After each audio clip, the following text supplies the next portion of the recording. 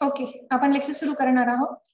Yashwantrao Chavan Maharashtra Mukta Vidyapeeth Nashik school of architecture science and technology तर्फे आपण हे online counselling sessions available करून दिले दिलेले आहेत. यामध्ये आपण आज मॅथमॅटिक्स झिरो वन ह्या कोर्सवर लेक्चर बघणार आहोत.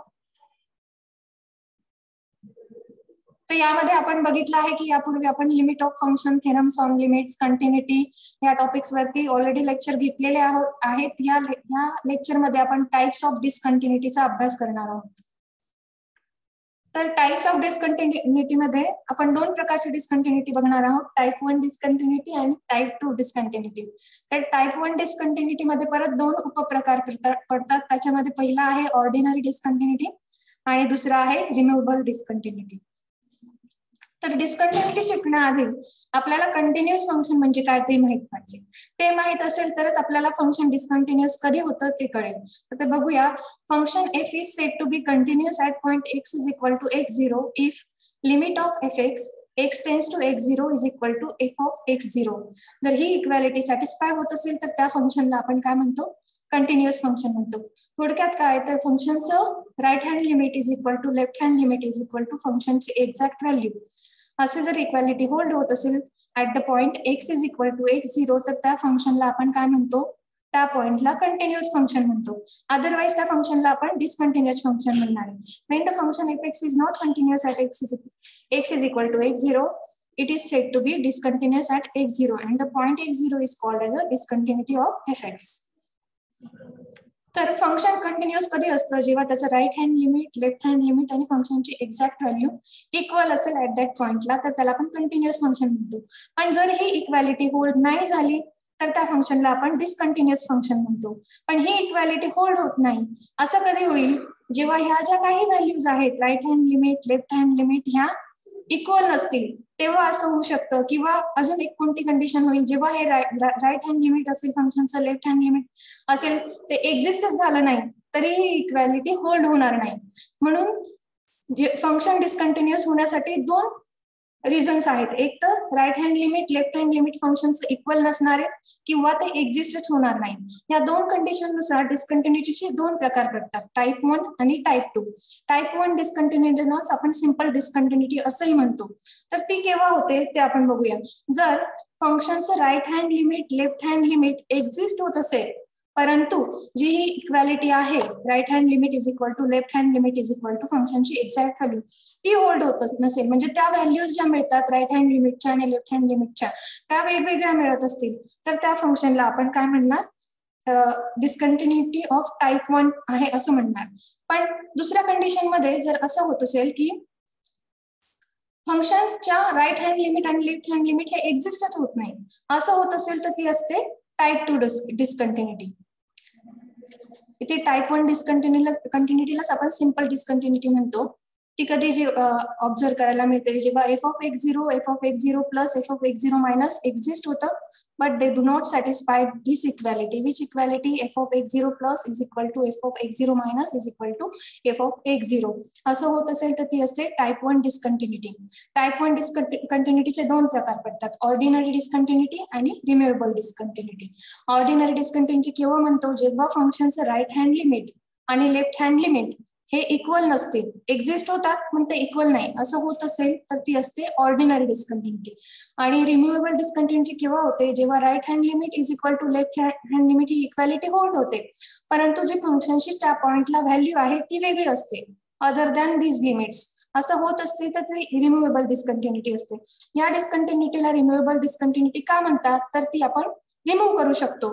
कशी रिमूव्ह करू शकतो? बाय रिडिफायनिंग दिस फंक्शन या फंक्शनची जी व्हॅल्यू जी इक्वल नाही आहे राईट हँड लिमिट आणि लेफ्ट हँड लिमिटला ती जर आपण रिडिफाईन केली तर आपण ही डिस्कंटिन्युटी आहे ती रिमूव्ह करू शकतो. म्हणून तिला रिमुवेबल डिस्कंटिन्युटी असं म्हटलं जातं. टाईप टू डिस्कंटिन्युटी केव्हा असते? जेव्हा फंक्शनचं right hand limit left hand limit हे एक्झिस्टच होत नाही तेव्हा जे फंक्शनची डिस्कंटिन्युटी असते तेव्हा ती टाईप टू डिस्कंटिन्युटी असते. इथे ग्राफिकल तुम्ही बघू शकता डायग्रामॅटिकली डिस्कंटिन्युटीचे दोन प्रकार पडतात. Type one type two type वनमध्ये काय असतं? टाईप वनलाच काय म्हणतो आपण? सिंपल डिस्कंटिन्युटी मध्ये म्हणतो. डिस सिंपल डिस्कंटिन्यू कंटिन्युटी मध्ये नेमकं काय होतं? F of x zero f of x zero plus f of x zero minus exist होतात. पण ते इक्वल नसतात. तेव्हा काय असते? Type one discontinuity simple discontinue continuity मध्ये right hand limit left hand limit exist होतात. त्याच्यामध्ये ऑर्डिनरी डिस्कंटिन्युटी केव्हा बघायला मिळते? जेव्हा right hand limit is not equal to left hand limit अशी कंडिशन जेव्हा अराईज होते तेव्हा ती असते ऑर्डिनरी टाईप ऑफ डिस्कंटिन्युटी आणि दुसरी जी कंडिशन आहे जेव्हा राईट हँड लिमिट आणि लेफ्ट हँड लिमिट हे इक्वल असतात परंतु फंक्शनची ऍट दॅट पॉइंट जी व्हॅल्यू डिफाईन केलेली असते एक्झॅक्ट व्हॅल्यू ती वेगळी असते. असं असेल तेव्हा ती असते रिमुवेबल डिस्कंटिन्युटी आणि जेव्हा फंक्शनची right hand limit left hand लिमिटच exist होत नाही तेव्हा जी डिस्कंटिन्युटी येते ती असते टाईप टू ऑफ डिस्कंटिन्युटी इथे एक्झाम्पल घेतलेलं आहे आपण f of x is equal to one upon one minus e raise to one upon x has simple discontinuity at x is equal to zero हे आपल्याला show करायचं आहे ते simple discontinuity आहे. हे दाखवायचं म्हणजे काय दाखवायचं तर त्या फंक्शनचं right hand limit left hand limit exist होतात. पण ते इक्वल नाहीये असं आपल्याला दाखवायचं त्याच्यासाठी आपण फंक्शनचं राईट हँड लिमिट फाइंड करणार आहे. At the point x is equal to zero ते कसं फाइंड करणार? F of zero plus is equal to limit of f of zero plus h as h tends to zero is equal to limit of one upon one minus e raise to one upon h as h tends to zero just replace x by h and find the limit of this function this limit of this function is what one upon one minus infinity आता हे one minus infinity कसं आलं? the limit of e raised to 1 upon h as h tends to 0 is infinity. That's why this becomes 1 upon 1 minus infinity. 1 upon 1 minus infinity म्हणजे काय असतो 1 upon infinity असतो आणि 1 upon infinity ची value असते 0. That's why right hand limit of function f of x, this function at x is equal to 0 is equal to 0. आता left hand limit find करूया left hand limit कसं find करणार limit of f of 0 minus h as h tends to 0 Just replace x by minus of h. Therefore, it is equal to limit of 1 upon 1 minus e raised to minus 1 upon h, h tends to 0. आपण इथे ह्या values put substitute केल्या तर इथे मिळेल one upon one minus e raise to minus infinity e raise to minus infinity म्हणजे काय? E raise to minus इन्फिनिटीची व्हॅल्यू होते one upon infinity one upon infinity म्हणजे zero that's why we will get one minus one upon zero that is nothing but one म्हणजे इथे जे काही right hand limit आणि लेफ्ट हँड लिमिट मिळत आहेत आपल्याला राईट हँड लिमिट मिळतं झिरो आणि लेफ्ट हँड लिमिट मिळते one that's why here we are getting right hand limit of function f of x at the point x is equal to zero is not equal to the left hand limit of that function at that point x is equal to zero म्हणजे हे दोन्ही limit इथे exist होत आहेत पण त्या values काय मिळत आहेत वेगवेगळ्या मिळत आहेत म्हणून जे हे जे फंक्शन आहे त्याला at the point x is equal to zero जी काही डिस्कंटिन्युटी आहे ती सिंपल टाईप ऑफ डिस्कंटिन्युटी आहे. टाईप वनची डिस्कंटिन्युटी आपल्याला ह्या फंक्शनसाठी ह्या पॉइंटला ऑब्झर्व करायला मिळते. नेक्स्ट जे प्रॉब्लेम आहे. त्यामध्ये म्हटलेलं आहे let if x is equal to sine of one upon x for x is not equal to zero आणि if x is equal to zero for x is equal to zero इथे F x कसा define केलाय? Non zero एक्सच्या व्हॅल्यूसाठी f x define केलाय sine of one upon x आणि x is equal to zero साठी F एक्सची value आहे झिरो तर show that f x has a discontinuity of this second type at x is equal to zero f एक्सची f x ला second type of discontinuity हे show करायचं आहे second type of discontinuity कधी असते फंक्शनला जेव्हा त्याचं right hand limit left hand limit एक्झिस्टच होत नसेल अशी कंडिशन जेव्हा अराईज होते तेव्हा एफ एक्सला जी डिस्कंटिन्युटी असते ती टाइप टू ची डिस्कंटिन्युटी असते.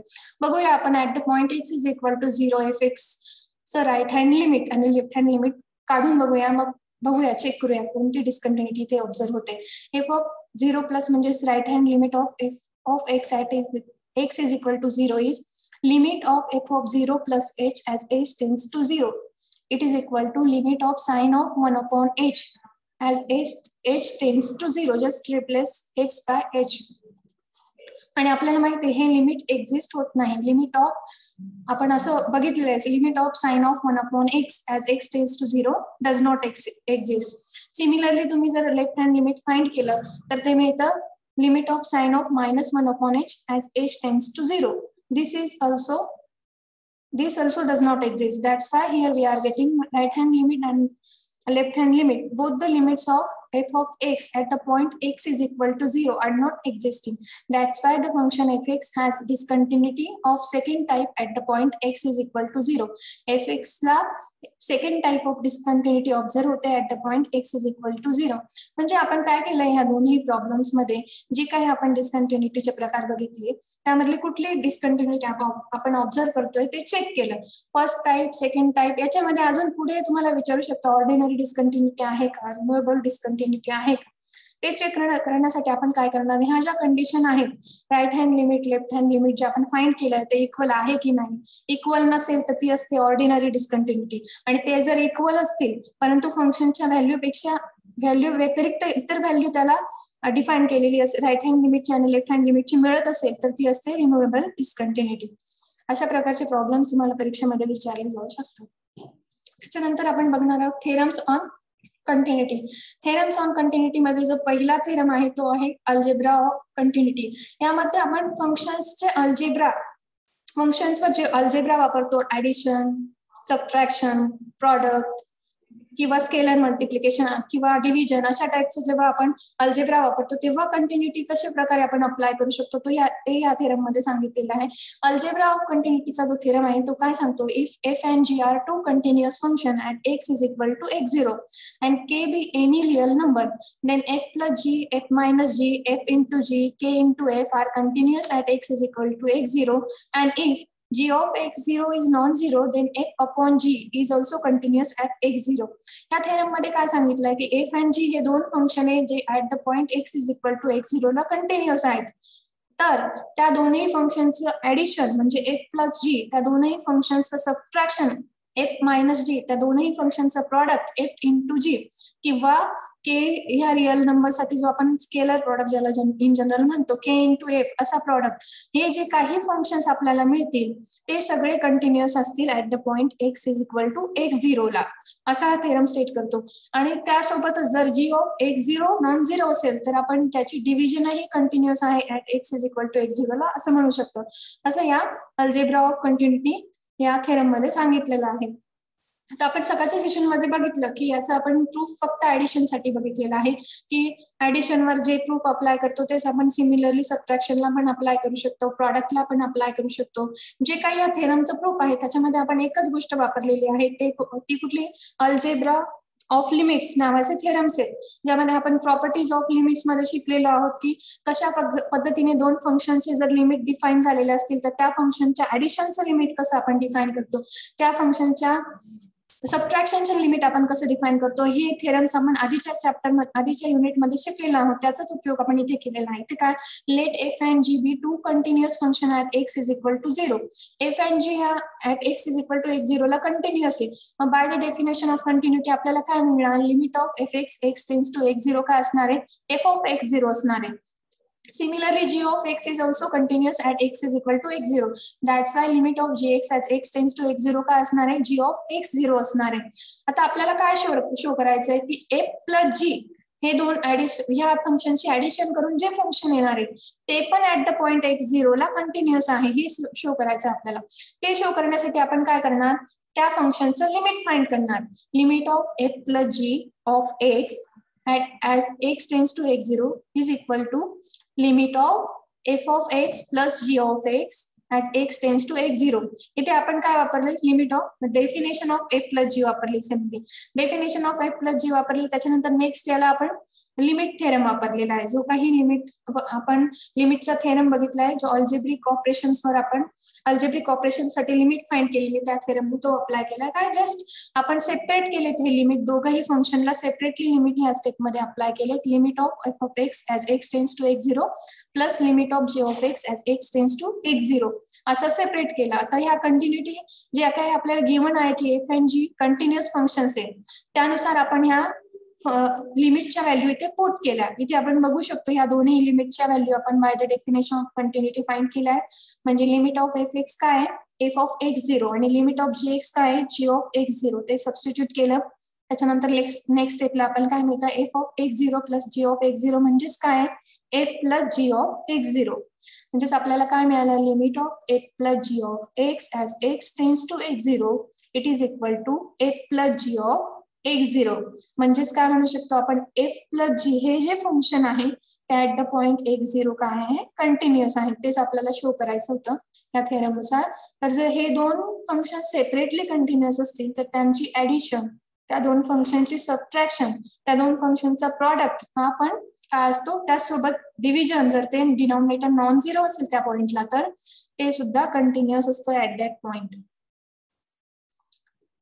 इथे आपण एक एमसीक्यूचा अभ्यास केला होता ज्यामध्ये काय दिलेलं आहे? Let f x and g x be continuous at x is equal to a and let limit f x plus g x is equal to seven as x tends to a similarly limit f of x bracket square plus g of x bracket square as x tends to a याची value seven दिली. तर आपल्याला find करायचं होतं.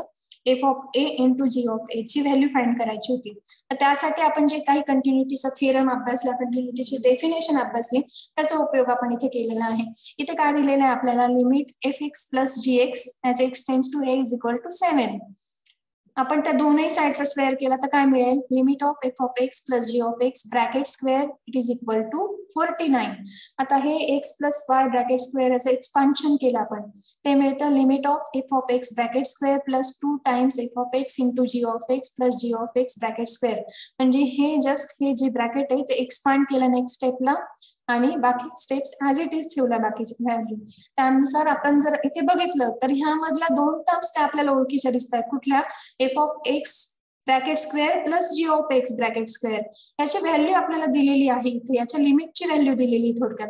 Limit of f of x bracket square plus g of x bracket square as x tends to a it is equal to seven असं given आहे. त्याच्यामुळे आपण ह्या स्टेपमध्ये काय करणार आहे? ह्या दोन ब्रॅकेट ची ह्या दोन स्क्वेअरच्या ऍडिशनची व्हॅल्यू रिप्लेस करणार आहोत. ही जी व्हॅल्यू आहे ती लिमिटमध्ये रिप्लेस करणार आहोत सेव्हनने मग उरलं काय फक्त? इथे फक्त आपल्याला ह्या टर्मच्या लिमिटची व्हॅल्यू माहीत नाही. कोणतं? Limit of two times f of x into g of x हे फक्त अननोन राहिले यामध्ये.